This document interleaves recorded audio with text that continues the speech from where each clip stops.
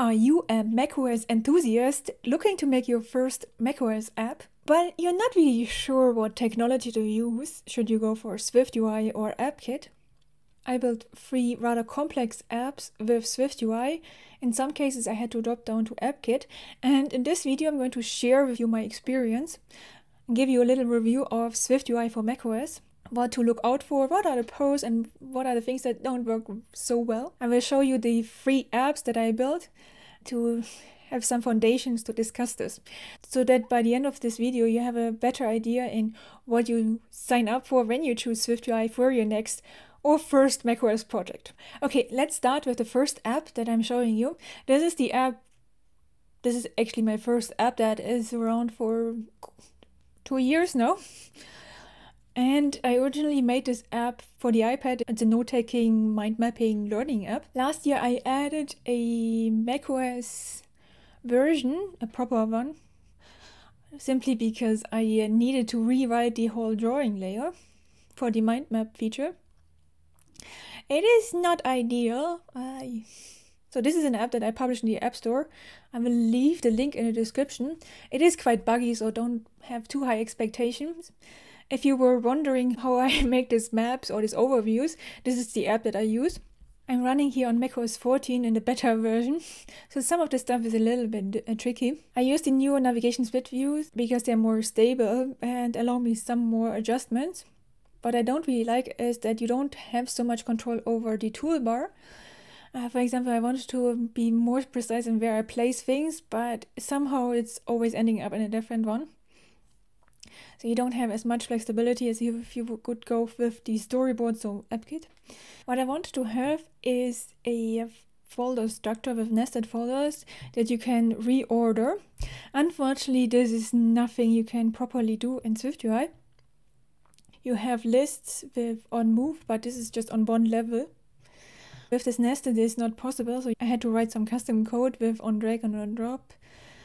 For example, if I create a new folder, test. I can take this and then move it in this folder and then move it up again. But as you see, it is working, but not as nice as I wanted. Very similar for moving. In each of these folders, I have notes, different kinds of note exercises. And if I, for example, want to move this one to a different group, I can. This is again some custom code with on drag and drop with NS item provider. So now it is moved in here just going to move this in the other folder. Back. I probably should have dropped down to AppKit. But as long as it's not too bad, I prefer to stay in SwiftUI because this kind of things it takes also quite a lot of code in AppKit. I have some problems with state restoration of keeping the selected folders and notes and sometimes it doesn't store it properly or it doesn't call the scene phase properly. So here, if you when you use the scene phase, it just doesn't get it properly sometimes. So I did write my own app delegate just to make sure I can call it more often save or restoring things. This also changed with the macOS versions. The nice thing with SwiftUI is you can create cross-platform apps and if you use a universal target, so when you create a project and you say you want cross-platform, you can easily create a subscription that is valid for all of the platforms so the user can have start his subscription on the iPad and then use the same one on the Mac. So that's very cool. I used RevenueCat for this. For example, in the settings window, I impl implemented here a little subscription view. Same for the paywalls of these features. Now, as you see, this is a drawing area. And maybe I just create, I'm going to use one of the ones that I don't need for later. This is just for SwiftUI layout where I was thinking of how to structure things. This kind of drawing you can't do with SwiftUI because you need to have you need to do a lot of performance optimizations. So I had to write this in AppKit and I actually had to drop down to core graphics and metal. First, it's more of a hassle to write separate code for AppKit and UIKit, but you can share a lot because there's a lot of similarities between these kind of view controllers. And the other thing, since I was dropping down to core graphics so much, um, this again is the same. Um, draw and rect is the same for both iOS and macOS. A little bit of differences with working with layers, CA layers, uh, because I used here CA tiled layers, again something very specific uh, for performance optimizations, which you probably don't need a lot. Um, but otherwise this is going to be very slow um, and I need to here be able to really edit stuff. Unfortunately I still have a lot of problems with crashing. Some things that you might expect is adding here undo and redo. So if I press Command Z, now you see I change the colors and Command and then redo again. So this is quite a lot of data flow going here from very low level up to the toolbar. I used the undo manager instances passing it around. I used a lot of combine, especially for UIKit AppKit, uh, to get the updates properly because every time you drop down to AppKit, your data flow gets a lot more, a lot harder. Uh, you need to be very precise of when you call what. Maybe my example is probably quite heavy. The second example is a ChatGTP client that I built. And again, I use a navigation split view for this with groups of different chats. And in the main area, I have a list with all these chat messages. Now, this list is actually one of the main hassles I had working with SwiftUI because lists are not very good for performance optimization. This is because the underneath the AppKit component as NS table view works quite different than UI table view. And for the Mac, they need to know the cell size. Somehow when I do this in SwiftUI, it always stutters. I'm going to show you this. So here, this is now in AppKit. Please pay attention to the smoothness of this scrolling. Okay, I undid some of the changes. So now I again use the list for this component. Okay, now try to scroll. This actually got better with macOS 14, so the better version I'm running. So I don't know, maybe they optimized something. But OS 13 is much worse. And then you have some jumps because it calculates in between the cell sizes. Unfortunately, there's a problem with this. It's not just smooth, it's also some performance issues. I'm going to link some resources I found from people that got more into details with this, but definitely this is an issue with the list in macOS. Okay, let's now talk about some of the nicer stuff. Like here, I can use the advanced filter for searching for multiple things. Like I can generate tokens and say, search for something that has these all these terms, adding here some filters. You can also use search scopes. I didn't use this because there's some issue with the text editing toolbar here, but definitely have a look at the search. It's pretty great and rather easy to implement, especially if you can afford being on macOS 13 to get the tokens. Then let's have a look at the settings window, which you can easily create by defining in the main app file another view with the settings group. For example, in this case, I added a color preference and said make this dark. Now everything is dark or the default then I added here the menu bar extra. This is here this one. It's basically this small version of my main app. And I simply, I can change here the size of this menu bar extra to make it wider and higher by changing the view that we give here in this menu bar extra. This is then coming here from app storage. I save these values in app storage. This is typically what you do with the settings. And then these are used for the size of the main chat view. So getting this menu bar extra is quite straightforward and you can easily reuse some of your main views in this area. In order to get these settings properly here, you have to use a tab view with forms. So you get this rather cool layout per default. One of the features that is still missing on macOS is that we don't have a text field in or text editor in SwiftUI that works with rich text. So here, these components, these views. I want to have I want to be able to change the text. So I have to, and I want to be able to modify stuff here, like doing. Oh yeah, I have a response from ChatGTP. This is pretty cool. I'm going to use here highlighting. So again, I had to write a NSView representable to go down to AppKit. Some of the other interesting things that you can do on macOS is doing here on hover, for example, only if I'm in this area, you see the extra things that are available, like you can hide something, uh, you can copy to clipboard. So for example, I can copy this message and then paste it in another text field. Some of the things that are not so nice is having here inspector area. Now with macOS 14 they have the inspector modifier, so this is a little bit easier. On macOS you can also use a a split view and a V split view uh, because what you want to have is here is the ability to drag this views larger and smaller. And for this I used here an H split view.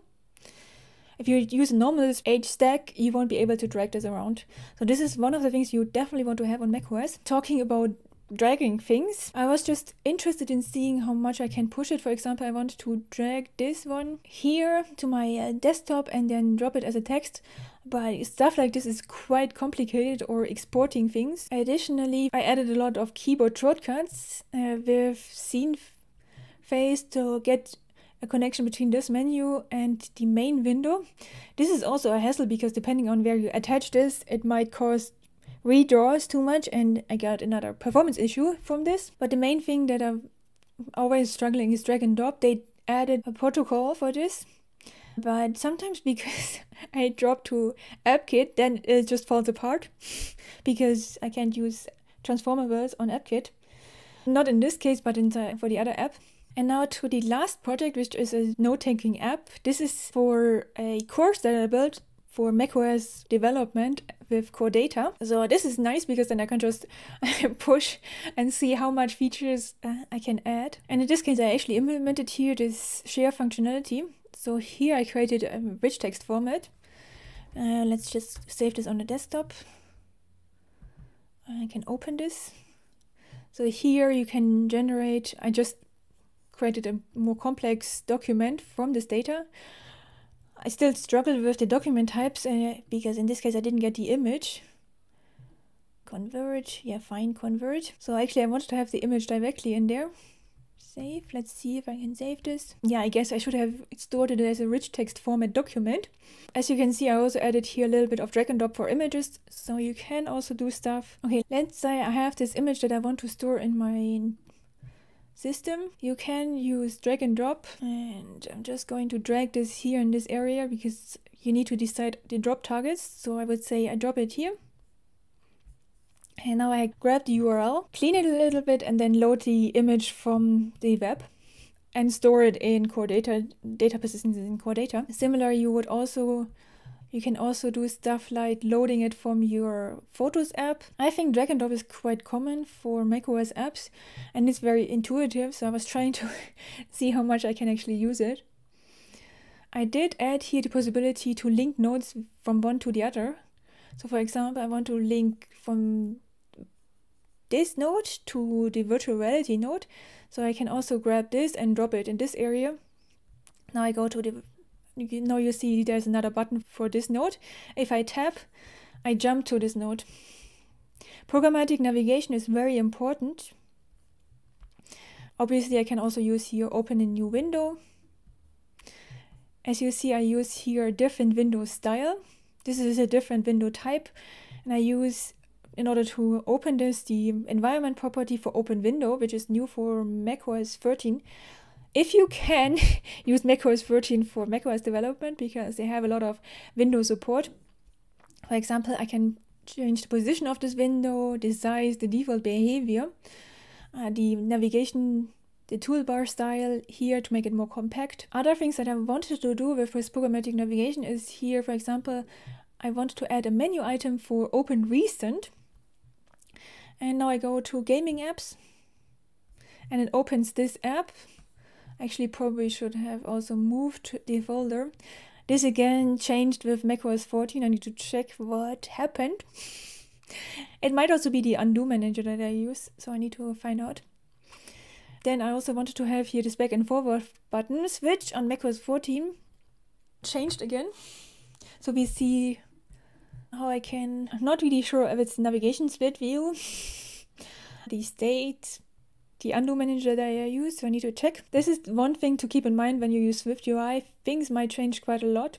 and you need to check the different macOS versions for this. Some of the problems I have is also with if you add too many things, like here. I if you double tap, this is a text field. Then you can change the name of these folders. But I also added here context menu, for example, to delete this or create a new subfolder. Sometimes it doesn't take the correct gesture or as you see here, it now goes for the text field. Similar if I want to try to drag this around, I couldn't use the text field, so this is then again, if I try, so I added this to these icons, which I can drag, so that kind of works, but not as much as I want to. I know they added some kind of functionality where you can decide which gestures work and which priority. So I need to check this for macOS 14. But that's the main thing with macOS. You expect a lot of functionality working in different ways, like context menus and dragging things. It's not just how it works in SwiftUI, it's also a lot of knowledge about UX design, especially when you come from iOS. On macOS, we don't need to take care of touch targets. I don't. I can make my buttons here as small as I want to, which is really nice. If I say I want to go to this folder, I can just add this as a on tap gesture and you see I moved uh, the you see I moved this folder to the one that I just selected. macOS apps are typically for productivity. You expect a lot of keyboard shortcuts, drag and drop, very well working, very sleek design, very good UX design. So the standard is quite high. And I think that's why people complain about using SwiftUI because the expectations are here and SwiftUI is, is just not there yet just know that in a lot of cases you can go the extra mile. For example, with my table view issues, if you target macOS 13 and higher, I think SwiftUI is quite good also for the navigation split view. If you're lower, maybe you're starting your main app with AppKit and then drop down for the individual views to SwiftUI.